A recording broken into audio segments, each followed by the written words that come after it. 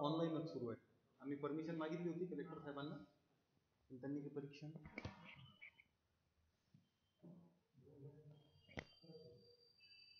नमस्कार सगळ्यांना.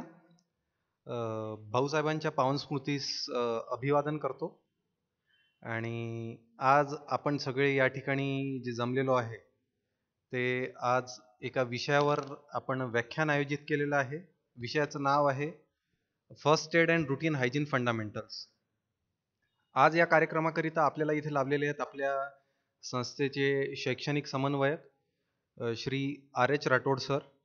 मी त्यांचं शब्दसुमनांनी स्वागत करतो. तसेच आजच्या कार्यक्रमासाठी आपल्याला जे प्रमुख वक्ते लाभलेले आहेत ते त्यांचं नाव आहे doctor Akshay Nagalkar sir Nagarkar sir. त्यानंतर त्यांच्याच सोबत त्यांचे सहयोगी आहेत डॉक्टर वैभव मापारी सर हे दोघंही आज आपल्याला इथे दोन्ही व्यक्तिमत्व आपल्याला इथे लाभलेले आहेत आपल्या विषयावर मार्गदर्शन करण्याकरिता.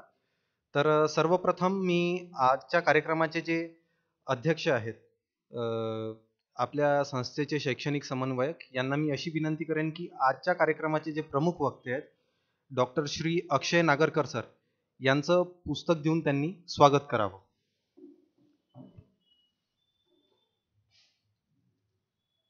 धन्यवाद सर.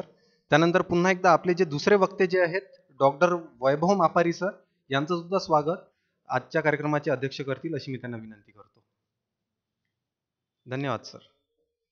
तर सर्वप्रथम कार्यक्रमाला सुरुवात करण्या करण्याआधी मी थोडक्यात आपले जे आजचे प्रमुख वक्ते जे आहेत डॉक्टर श्री अक्षय नागरकर सर यांचा थोडा मी परिचय देतो. तर अक्षय नागरकर सरांबद्दल सांगायचं झालं तर त्यांचं बारावीपर्यंतचं शिक्षण आणि त्यांचा जन्म आणि बारावीपर्यंतचं शिक्षण हे नाशिक या ठिकाणी झालेलं आहे. त्यानंतर त्यांनी आपल्या येथील डॉक्टर पंजाबराव देशमुख स्मृती वैद्यकीय विद्यालय जे आहे या ठिकाणी त्यांनी एम बी बी एसला प्रवेश घेतला दोन हजार बारा साली. दोन हजार बारा साली प्रवेश घेतल्यानंतर दोन हजार बारा ते दोन हजार सतरा या कालावधीत त्यांनी एम बी बी एस ही पदवी धारण केली. एम बी बी एस केल्यानंतर त्यांनी त्याच ठिकाणी पोस्ट ग्रॅज्युएशनसाठी उच्च शिक्षणासाठी एम डी इन मेडिसिनला यांनी तिथे प्रवेश घेतला आणि सध्या त्यांचं शिक्षण सुरू आहे. तर आणि दुसरे आपले जे वक्ते आहेत डॉक्टर वैभव मापारी सर यांनी सुद्धा एम बी बी एस तिथूनच केलेलं आहे. आणि ते प्रॉपर लोणारचे आहेत बुलढाणा जिल्ह्यातील. तर पुन्हा एकदा मी शब्दसुमनांनी स्वागत करतो आमच्या आजच्या दोन्ही प्रमुख वक्त्यांचं. आणि मी त्यांना आजचे जे प्रमुख वक्ते आपले जे आहेत डॉक्टर श्री अक्षय नागरकर सर यांना विनंती करेन की त्यांनी आजच्या या विषयावर मार्गदर्शन करावं. थोडक्यात अजून एक याबद्दल सांगायचं झालं तर ज्याप्रमाणे आपल्या सगळ्यांना माहिती आहे की कोरोनाच्या पार्श्वभूमीवर सध्याची जी परिस्थिती आहे आपण ज्या संकटाचा सामना करत आहे जसं पाहिलं की मध्यंतरी ही कोरोनाची लाट थोडी कमी होत गेली होती पण नंतर नंतर आता जसं आपण पाहिलं या दोन तीन दिवसात या कोरोनाचा उद्रेक जो आहे हा आता वाढायला लागलेला आहे. तर याच पार्श्वभूमीवर आपण आजचा जो विषय ठेवलेला आहे की first aid and routine hygiene fundamentals म्हणजे दैनंदिन जीवनात जर का एखादा अपघात आपल्यासोबत घडतो छोटा मोठा कुठलाही अपघात तर त्या ठिकाणी त्याकरिता फर्स्ट एड आपण कुठला प्रोव्हाइड करायला पाहिजे. आणि त्यानंतर रुटीन हायजीन म्हणजे डे टू डे लाईफमध्ये आपण वावरताना बारीक बारीक गोष्टी असतात ज्यांची आपण काळजी सहसा घेत नाही. आणि त्यामुळे या कोरोनाचा उद्रेक जो आहे हा वाढत चाललेला आहे हे आपल्या लक्षात येत आहे तर त्याच विषयावर आपण आज इथे यांना आमंत्रित केलेलं आहे. तरी मी डॉक्टर अक्षय नागरकर जे आहेत यांना मी इथे विनंती करतो की त्यांनी मार्गदर्शन करावं.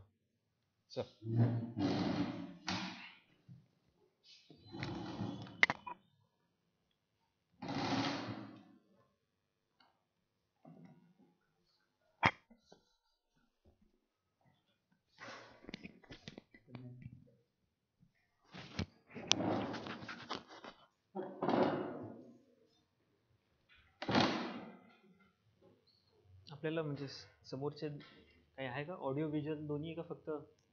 वन वे कन्व्हर्सेशन अच्छा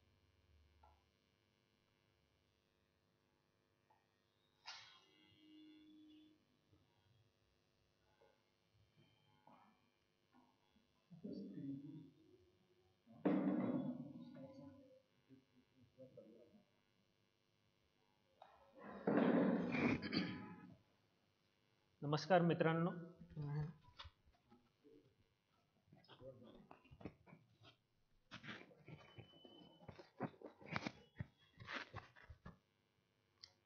नमस्कार माझे सगळे मित्रांनो व मैत्रिणींनो.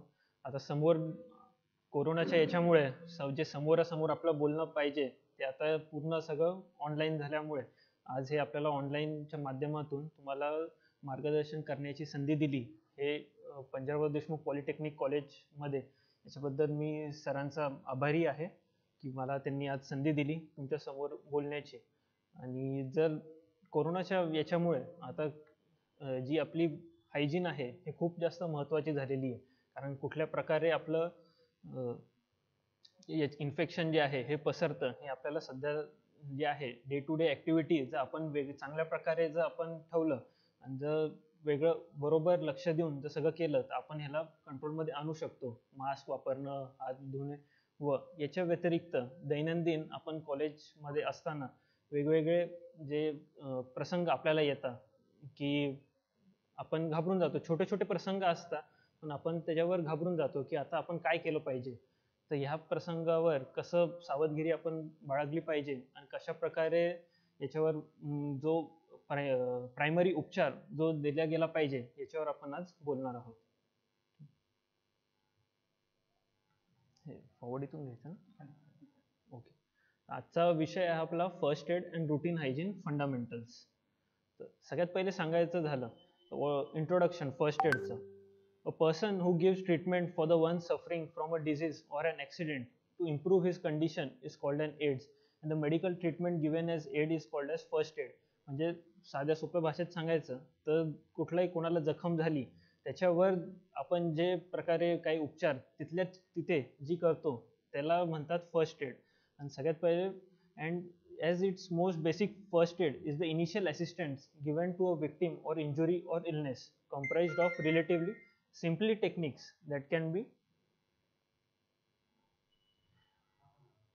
perform with minimum equipment until the professional health services arrive. आता समजा आपल्याकडंच कॉलेजमध्ये कोणाला काही कट झाला किंवा काही चावलं जो मित्र त्याच्यावर जे त- तत्परतेने त्याच्यावर उपचार किंवा काही जसं बँडेज करणं किंवा काही जोपर्यंत आपण प्रॉपर हॉस्पिटल सेटअपला जात नाही ते जे सगळं आपण करतो त्याला एकंदरीत फर्स्ट एड असं म्हणतात.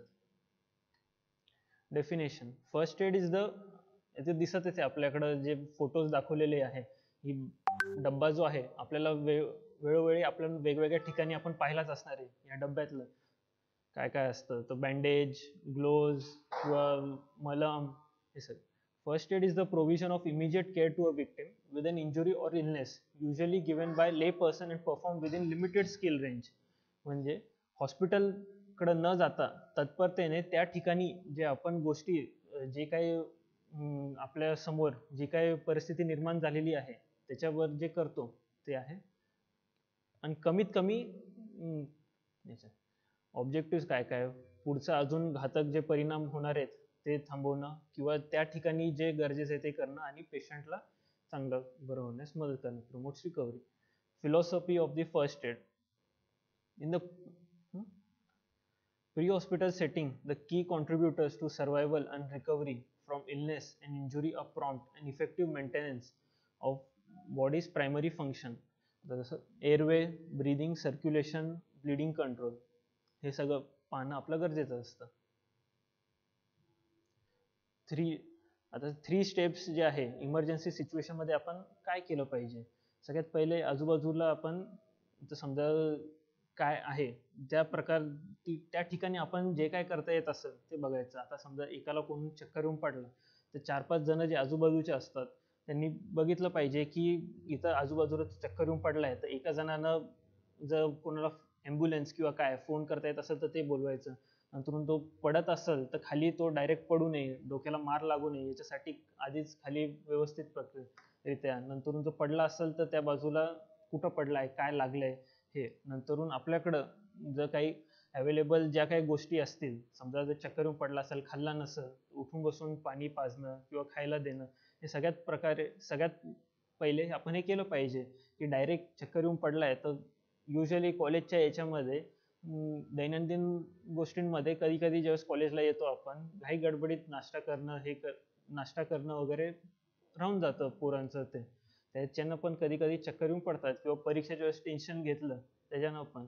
हे छोट्या छोट्या गोष्टी असतात पण आपण खूप घाबरून जातो की अरे हे पडलं आहे तर आपण लगेच आता हॉस्पिटलला कसं घेऊन जाणार किंवा काय? तिथल्या तिथं आपण न घाबरता एकानं कोणातरी मोठ्या व्यक्तीला किंवा ॲम्ब्युलन्स वगैरे काय असेल त्याची सोय होती का ते बघायचं. आणि पेशंट जर लगेच शुद्धीवर येत असेल ते करून खायला देणं किंवा पाणी देणं हे सगळ्यात पहिल्यारीत्या आपण तिथल्या तिथं ते करण्यात आलं पाहिजे. फर्स्ट एड किटमध्ये आता ह्या याच्यानंतर मी अशी अपेक्षा करतो की आपण निदान आपल्या जिथं कॉलेजमध्ये किंवा हॉस्पिटलमध्ये हॉस्टेलमध्ये कुठं कुठं हे आपण ठेव याची आपण काळजी करून बघताल की हे सगळे आहे की नाही आपल्या इथं. हे दैनंदिन जसं बाकी फोन किंवा काय जसं आपल्याला दैनंदिन असतो तशी ही पण एक किट आपल्या हॉस्पिटल आपल्या हॉस्टेलमध्ये किंवा कॉलेजमध्ये आहे की नाही याची आपण चेक केलेलं पाहिजे. त्याच्यामध्ये येतं बँडेजेस आहे की नाही? जे नंतरून ड्रेसिंग आहे वॉसपॅड्स आहे ड्रग्ज आहेत काही काही. समजा पॅरासिटेमॉलची गोळी ताप आल्यानंतर. नंतर कुठलं अँटीबायोटिकचं लोशन क्रीम आहे कॅलामिन लोशन ग्लोव्ज आहे थर्मोमीटर की टेम्परेचर चेक करण्यासाठी. आता हे जर आपल्याकडं थर्मोमीटर तर दैनंदिन याच्यावर जे आहे आपल्याला दिसत आहे गन थर्मोमीटर गन ही आता सगळीकडेच अवेलेबल झालेली आहे. याच्यामध्ये अजून एक प्रकारे ॲड करता येईल की आता पल्स ऑक्सिमीटर पण सगळीकडं कोरोनाच्या मुळे ॲड करण्यात सगळीकडं जवळपास आलेलंच आहे. की समजा कोणाला चेक काही घाबरल्यासारखं झालं काही झालं तर आता आधी लोक त्याचं टेम्परेचर चेक करतात आणि थर्मोमीटर कोरोनामुळे हे एक नवीन त्याच्यामध्ये ॲड झालेलं आहे. नंतर ब्लँकेट आणि बाकी एक मॅन्युअल किंवा ते की काय केलं पाहिजे कुठल्या कुठल्या छोट्या गोष्टींवर तिथं काय केलं पाहिजे याचं एक मॅन्युअल पण ठेवता येतं. ही अशी आहे फर्स्ट एड किट पेंटिंग आता समजा मी पडलं किंवा काय तर काय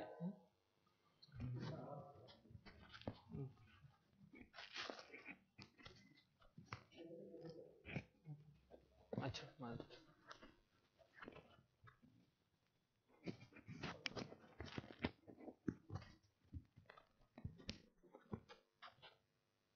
पेंटिंग म्हणजे काय तर एकंदरीत चक्कर येऊन पडलं.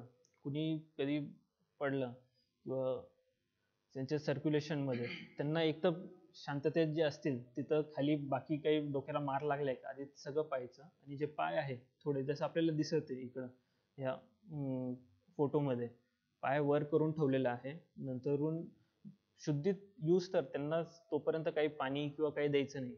वाट पाहायची की किती वेळात शुद्धी येतं. युजली ते जर काही मेजर काही नसेल तर पाच दहा वीस ते तीस सेकंदामध्ये तर काही नसेल तर पेशंटला शुद्ध युजली येऊन जाते. नंतर उठून बसवल्यानंतर त्यांचं पाणी देणं किंवा खायला देणं हे सगळं पाहून. आणि जर पॉसिबल होत असेल तर नंतर मेडिकल हेल्पसाठी आपण कॉल करून घ्यायचं. तीन चार जण असतातच आजूबाजूला कुठेही काय झाल्यानंतर. नंतरून घोळाना फुटणे किंवा नोज ब्लेड किंवा ॲपिस्टॅक्सिस हे आपण सगळ्यांना ऐकलंच असेल होतं. तर या अशा कंडिशनमध्ये पण ज्यावेळेस नाकातून रक्त जातं न घाबरता आपल्याला सगळ्यात पहिले असं नाक इथं जे आहे ते बंद करून ठेवायचं आणि पुढं असं म- पुढं वळून मागे न जाता पुढं आपल्याला जायचं आहे. तर मागे गेलो तर हे आपलं मागे जे रक्त जे आहे हे पूर्ण आपल्या अन्ननलिकेत किंवा श्वसन नलिकेत जाण्याची शक्यता राहते. त्याच्यामुळं आपण पुढं पुढच्या फोटोमध्ये दाखवणार आहे कसं होतं. If the bleeding is severe and if does not stop beyond ten to fifteen minutes or if the injury was to the head or face medical attention is needed म्हणजे जर खूप